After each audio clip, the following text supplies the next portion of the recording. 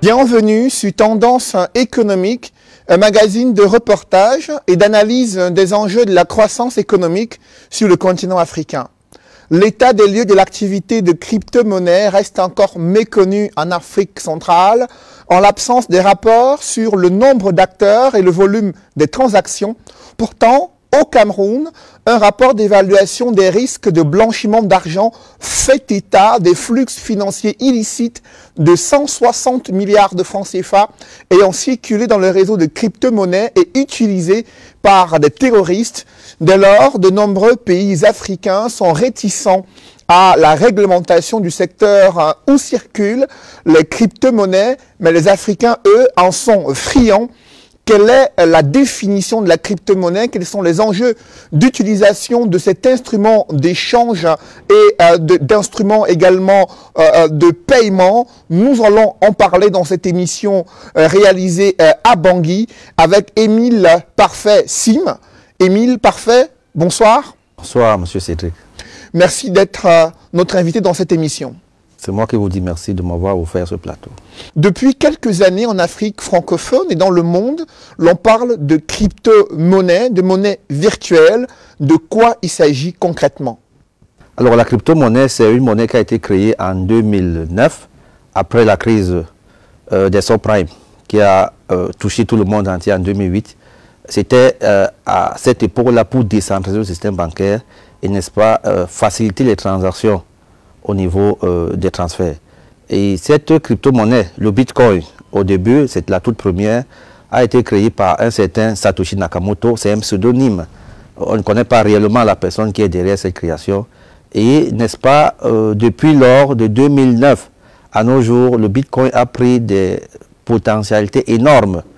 Euh, il est passé de 0,001 dollar à la création en 2009 à 58 000 dollars à l'heure où je vous parle. Donc c'est une monnaie décentralisée, c'est une monnaie euh, numérique, c'est une monnaie digitale, c'est une monnaie qui repose sur la loi de l'offre et la demande. Et, quel est son mécanisme de fonctionnement, Émile Parfait, pour un Camerounais qui souhaite accéder à la crypto-monnaie Comment ça fonctionne concrètement?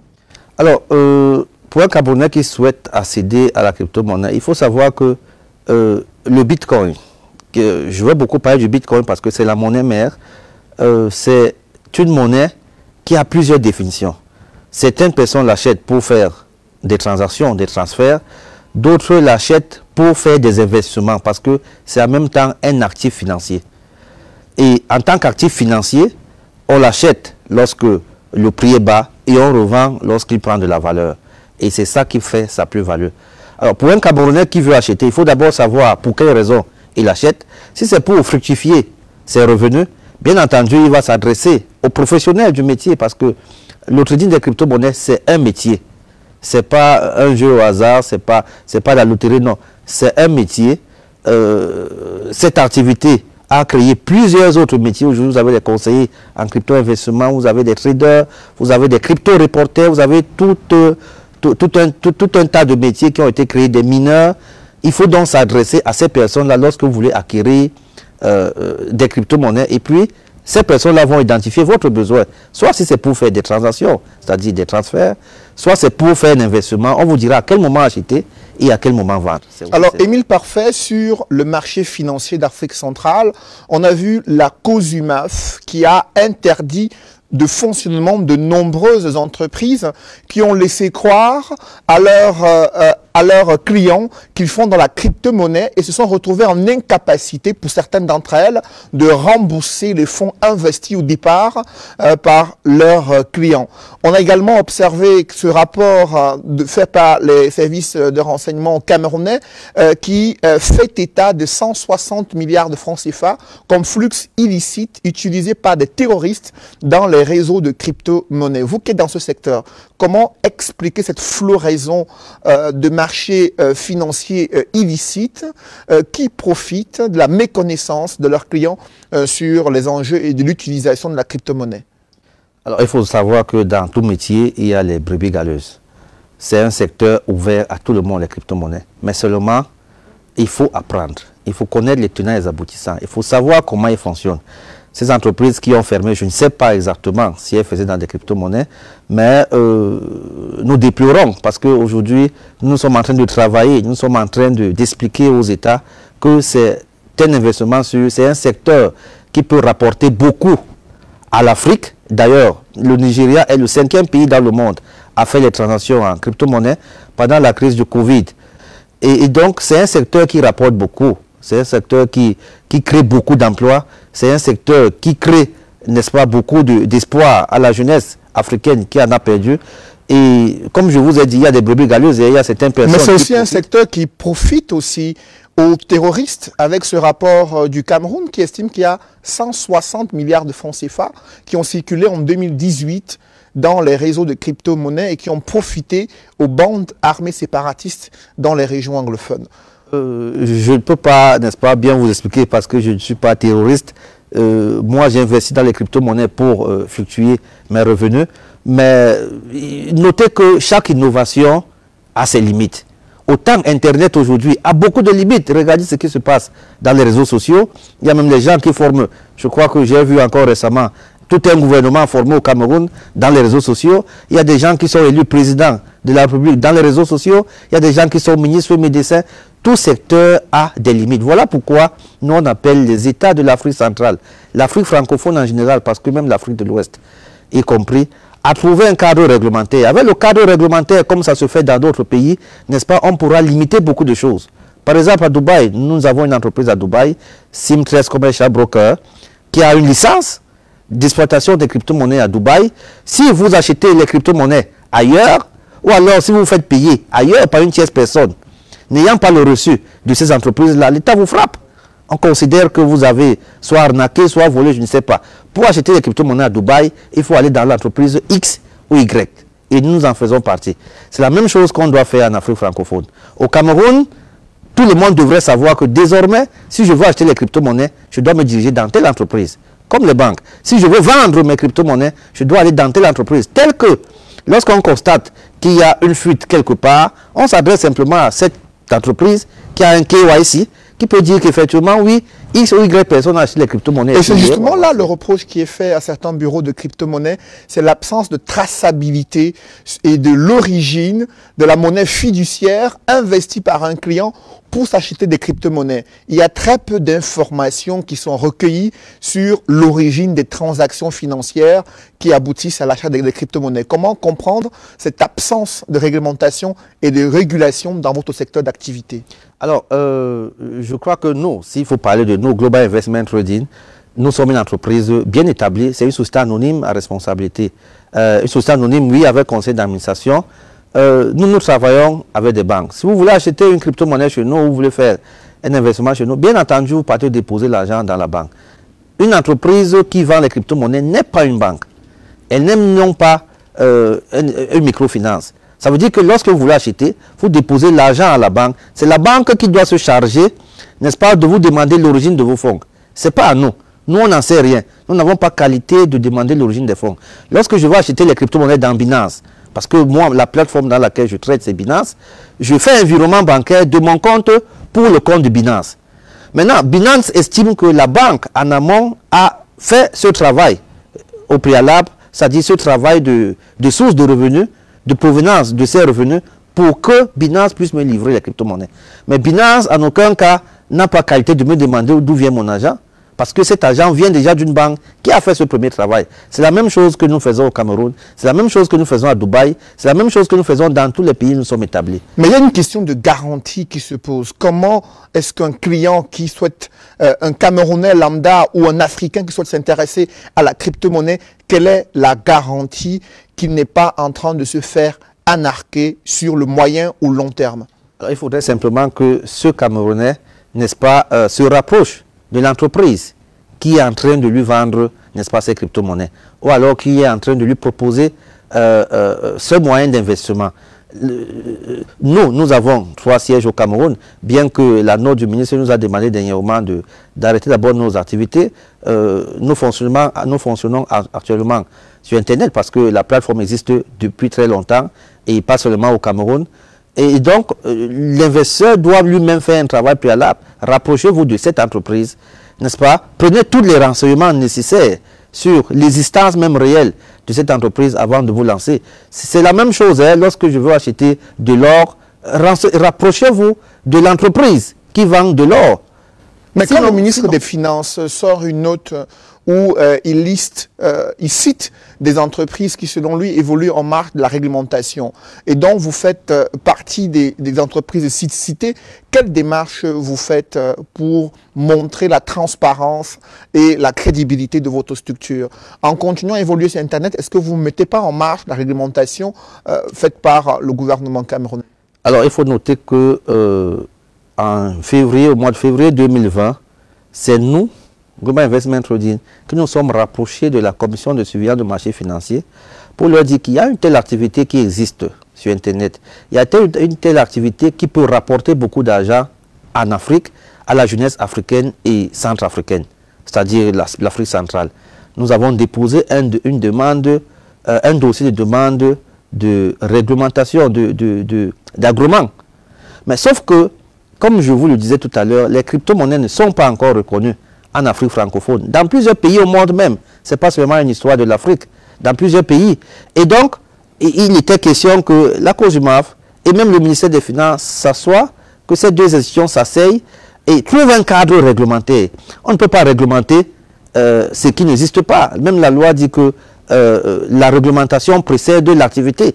Il faut qu'il y ait une activité qui existe d'abord. C'est à partir de cette existence qu'on peut sortir une réglementation. C'est comme les mobile money sont venus en Afrique, particulièrement au Cameroun. Il a fallu trois ou quatre ans pour qu'on trouve un cadre réglementaire pour les mobile money.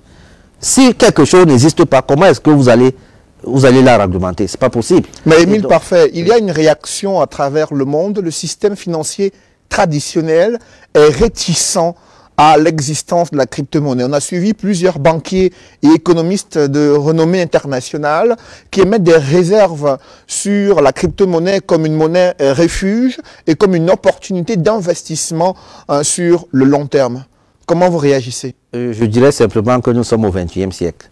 Autant la communication a avancé, souvenez-vous qu'il y a 20 ans, WhatsApp n'existait pas.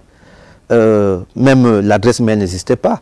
Pour envoyer une lettre à, votre frère en Europe, il fallait passer par la poste, attendre trois mois pour qu'il reçoive la lettre et trois mois pour qu'il donne la réponse. Aujourd'hui, la communication a beaucoup avancé. Aujourd'hui, avec euh, WhatsApp, je peux faire une conférence au moins dans 50 pays au monde, avec Zoom, etc. C'est la même chose avec la finance. Euh, je vais vous surprendre en vous disant qu'à l'heure où je vous parle, plusieurs banques plutôt sont en train de s'intéresser à l'activité de la crypto-monnaie. La preuve en est que Visa, qui est la plus grande plateforme de paiement euh, dans le monde, déjà désormais accepte les paiements en crypto-monnaie, le USDT. C'est le dollar numérique, le USDT. Euh, PayPal, aujourd'hui, c'est la plus grande plateforme de paiement mobile en, ligne euh, sur Internet, accepte déjà les crypto-monnaies. Chase Bank, aux États-Unis de JP Morgan, aujourd'hui conseille ses clients sur les placements en crypto-monnaie. Bank of America, moi, quand j'ai les crypto-monnaies aux États-Unis, je vends dans Coinbase, et Coinbase dépose de l'argent dans mon compte. Ce n'est qu'une question de compréhension. Mais au Nigeria, la Banque centrale, elle, a demandé euh, aux différentes banques commerciales de fermer tous les comptes qui font des transactions en crypto-monnaie. Est-ce que vous comprenez la démarche hein, des autorités de régulation du système bancaire? Sauf que deux jours plus tard, le parlementaire s'est levé, ils ont dit c'est pas possible. Et la Banque centrale est revenue sur ce dit. Parce que c'est un secteur, c'est pas possible. Je suis en train de vous dire que c'est pas possible, c'est sur Internet. Si on veut interdire les crypto-monnaies dans le monde, il faut qu'on coupe Internet.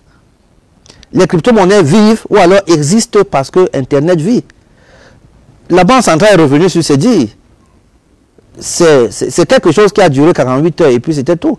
Parce que les parlementaires se sont levés, ont démontré, n'est-ce pas, l'apport des crypto-monnaies au Nigeria. Ont démontré ce que les crypto-monnaies ont déjà apporté jusqu'à ce jour au Nigeria. En termes d'emploi, en termes d'investissement, en termes de revenus, c'est plus de, au Cameroun par exemple, c'est plus de 20 000 emplois indirects créés. Mais de l'autre côté aussi, l'image que les Camerounais et Africains euh, de la sous-région Afrique centrale gardent, ce sont ces milliers de Camerounais qui se retrouvent devant des entreprises s'étant présentés comme des trading, des traders dans la crypto-monnaie, qui ont fermé euh, du jour au lendemain, ayant euh, utilisé les investissements et l'épargne des Camerounais durant de nombreuses années. Dans ce contexte, on rassure le, public, on rassure l'opinion nationale et internationale. De quelle manière concrètement? Je disais tout à l'heure, je déplore le fait que beaucoup de personnes se lancent dans ce secteur sans maîtriser euh, euh, euh, le fonctionnement de ce secteur d'activité. Et je suis également d'accord que le ministère des Finances joue son rôle de gendarme, de police, parce que sinon n'importe qui va se jeter dans ce métier disant qu'il fait le trading alors qu'il n'en fait pas. Nous, nous avons trois représentations au Cameroun, une direction générale commerciale et technique, où nous avons formé des traders nous avons la toute première salle de marché sur le trading des crypto-monnaies en Afrique francophone. Vraiment, euh, nous faisons, nous nous battons comme ça pour démontrer à notre État que ce n'est pas une activité qui va nuire euh, à ses citoyens, mais nous sommes également d'accord du fait que l'État essaye de... Parce que cette note du ministre va permettre de faire le tamis. On va séparer du bon grain au mauvais. Et vous convenez avec moi que euh, ces entreprises ne sont même pas souvent bien structurées je ne suis pas sûr qu'elles ont des... Nous, on a mis beaucoup de moyens dans la technique, la technologie. Nous faisons la recherche, le développement. Nous concevons des applications blockchain. Parce que la crypto-monnaie repose sur la technologie blockchain, qui est l'une des premières technologies aujourd'hui dans le monde, que toutes les banques, les grandes banques utilisent. Et donc, euh, malheureusement, euh, comme je vous ai dit, dans tout secteur, il y a les bébés galeuses, mais nous, on va travailler d'arrache-pied pour démontrer au gouvernement que c'est un secteur très, très porteur, c'est un secteur qui peut enlever beaucoup les jeunes dans le chômage, c'est un secteur qui peut auto-employer les jeunes parce que, voyez-vous, l'État ne peut pas recruter tout le monde. Il faut des secteurs libéraux comme ceux-là pour que le maximum de jeunes, la quantité de jeunes qui sont en chômage puissent trouver de quoi faire et se bâtir une vie euh, dans les 3, 4, 5 prochaines années. En tout cas, je suis de ceux qui pensent que si on veut atteindre l'émergence à l'horizon 2035, il faut mettre un accent sur l'économie numérique et particulièrement les crypto-monnaies. Alors, Émile Parfait, vous parlez d'opportunités pour euh, les jeunes euh, de la sous-région Afrique centrale. Concrètement, les bitcoins, la crypto-monnaie, cela permet de gagner de l'argent. Comment? Pour des jeunes qui pourraient s'y investir Quels seraient les métiers, par exemple, euh, qui euh, gravitent euh, autour des transactions numériques et virtuelles? À ce jour, Global Investment Trading a formé plus de 1000 jeunes au Cameroun. 1000 jeunes qui sont devenus des traders. Un trader, c'est celui-là qui entre dans un marché financier, achète à prix bas et revend lorsque son actif a plus de la valeur. Un trader en français veut dire un commerçant. La grand-mère qui est au marché là, qui vend du, du macabo, elle est trader. Le papa qui vend ses têtes de chou est trader. Parce qu'il peut acheter en Djombe à 1000 francs une tête, il revient vendre à Douala à 2000. Il a son bénéfice. Aujourd'hui, nous avons formé plus de 1000 jeunes au Cameroun qui qui s'emploient eux-mêmes. C'est-à-dire qui sont devenus des traders, qui entrent dans le marché, achètent des crypto-monnaies et lorsqu'elles prennent de la valeur, revendent. Nous avons des vidéos de personnes satisfaites partout au Cameroun et dans tout le monde entier. il faut noter que c'est un marché qui pèse 1903, à l'heure où je vous parle, milliards de dollars. 1903 milliards de dollars. L'industrie de la crypto-monnaie. Avait un volume de transactions journalier de plus de 200 milliards de dollars par jour. C'est un argent qui est comme ça en l'air, qui ne demande, qui ne vous appelle que de venir le prendre vous entrez dans un marché où il y a plus de 1 million de traders dans tout le monde entier. Ce n'est pas l'argent du Camerounais, ce n'est pas l'argent du Nigérian, ce n'est pas l'argent du Centrafricain ou encore moins l'argent du Français. C'est l'argent de tout le monde qui est placé là. Maintenant, celui qui connaît mieux, c'est comme dans le football, c'est celui qui connaît mieux jouer euh, qui gagne le match. C'est celui qui, connaît très bien trader, qui sait à quel moment acheter. Bien entendu, qui a appris. Parce que pour acheter une crypto-monnaie, il faut passer par plusieurs analyses. Nous avons l'analyse fondamentale qui vous permet de connaître la qualité de la crypto-monnaie, quelle est sa valeur ajoutée, parce que c'est un marché qui compte plus de 8500 crypto-monnaies en bourse. Il faut connaître pourquoi acheter cette crypto-monnaie, déjà pourquoi elle a été créée, et après faire l'analyse technique, à quel moment l'acheter et à quel moment la vendre. Nous, aujourd'hui, à Global Investment Trading, nous sommes l'une des premières entreprises en Afrique à avoir créé une crypto-monnaie, le Simcoin, côté en bourse. Si vous partez dans CoinMarketCap, c'est la bourse des crypto-monnaies, tapez Simcoin Swap, vous allez voir notre crypto-monnaie. Elle vaut en ce moment environ 1,21 dollar. Elle est entrée en bourse le 5 janvier 2021 à 1 dollar. Elle est montée jusqu'à 3 dollars. Elle a rechuté à 0,8. Et maintenant, elle a 1,21. C'est la loi de l'offre et la demande. Et justement, ces fluctuations-là observées sur la valeur de, des différentes crypto-monnaies, est-ce que cela ne risque pas d'être euh, un point euh, faible de l'investissement dans ce secteur? Je dirais que c'est même le point fort. Parce que s'il n'y a pas fluctuation et il n'y a pas business, on ne peut pas trader le, franc CFA. Il ne fluctue pas. Il est, il est un franc aujourd'hui, euh, un franc même après 100 ans, il ne fluctue pas. Le business existe lorsque justement il y a fluctuation. Quand il y a fluctuation, on achète bas et on revend quand ça prend la valeur. Si aujourd'hui le bitcoin ne fluctue plus, euh, moi je vais changer de métier. Je ne serai plus trader parce qu'il ne va plus me rapporter. Alors comment vous faites, Émile Parfait, pour quitter du bitcoin à une matérialisation de cet argent pour l'investir dans le monde réel où nous sommes? Effectivement, parce que je considère le bitcoin comme un investissement et non comme une valeur refuge et non comme autre chose. Un investissement, c'est quoi? C'est que lorsque vous avez fait, vous avez investi, vous avez eu du bénéfice, vous diversifiez. C'est ça qui nous a permis d'investir aujourd'hui dans l'agriculture, dans l'élevage, dans l'immobilier, dans euh, euh, euh, le transport aérien, dans plusieurs autres secteurs. Parce qu'une entreprise, parce que je vais dire que le risque zéro n'existe pas en affaires, n'est-ce pas? Mais pour ramener votre risque à zéro, il faut diversifier.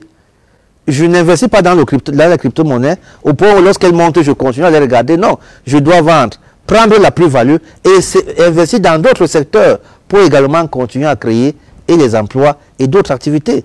Nous avons une très grande ferme à Kribi qui produit plus de 25 000 poussins d'un jour par jour, par mois, autant pour moi, c'est une couveuse. Nous avons une closerie. Je produis plus de 3 tonnes de poissons, les cellules, par mois. À Kribi, euh, j'ai des, des, ports. Je suis en train de construire l'une des plus grosses porcheries en Afrique centrale qui va produire plus de 5 000 porcs par an au Cameroun. Vous voyez, tout ça, c'est ce sont les bénéfices que nous sommes faits dans les crypto-monnaies. Alors, dans les jours à venir, oui, oui, Émile Parfait, pour le moment, le, gouvernement camerounais a interdit euh, le fonctionnement des entreprises qui font dans le trading euh, des, crypto-monnaies. La, la COSUMAF euh, n'a pas encore opéré en matière de réglementation de ce secteur d'activité. Qu'attendez-vous de ces différentes autorités? Alors, ce que nous attendons aujourd'hui, c'est que le ministère des Finances essaye de voir dans quelle mesure, n'est-ce pas, euh, il va accorder, par exemple, des autorisations provisoires en attendant de trouver, n'est-ce pas, un cadre réglementaire. Je suis d'accord que ça ne va pas venir du jour au lendemain, mais euh, euh, il peut accorder des autorisations provisoires aux entreprises sérieuses, bien, avoir, bien, bien entendu, après avoir, n'est-ce pas, investigué dans ces entreprises-là et voir où il y a la faille et, voir où, où, en tout cas, il, peut, poser certaines conditions, telles que si X ou Y entreprise respecte ces conditions, en fonction de l'évaluation qu'ils auront fait, ils sont des experts. Le ministère des Finances, c'est quand même la finance, ils sont des experts de tous bords. Et ils peuvent évaluer une entreprise, voir si elle peut tenir à, court, à moyen ou à long terme, afin de délivrer, par exemple, des autorisations provisoires en attendant sortir un cadre réglementaire. La COSUMAF, quant à eux, ils sont en train de travailler là-dessus, voir dans quelle mesure, à court terme, ils vont n'est-ce pas, créer ce cadre pour que euh, qu'on ne tue pas ce poussin qui est encore dans l'œuf. Sinon, c'est beaucoup d'emplois qui qui, qui, qui, vont finir comme ça. C'est beaucoup de personnes. Euh, je ne sais pas, mais je dis, notre activité aujourd'hui au Cameroun a créé plus de 20 000, je dis bien plus de 20 000 emplois indirects au Cameroun et plus de 100 emplois directs jusqu'à l'heure actuelle. Je dis bien plus. Merci, Émile. Parfait Sim, je précise que vous êtes un spécialiste en matière de crypto-monnaie. Vous avez également une structure que vous avez mis en place hein, au euh, Cameroun pour faire du trading euh, dans la crypto-monnaie et vous avez été mis en demeure par le ministère euh, des Finances. Vous l'avez dit, vous attendez de l'assouplissement de la part des autorités en charge de la régulation du système bancaire en Afrique centrale. Mesdames, Messieurs, c'est la fin de cette émission. Merci de l'avoir suivi. Rendez-vous dans une semaine pour une nouvelle édition de Tendance économique.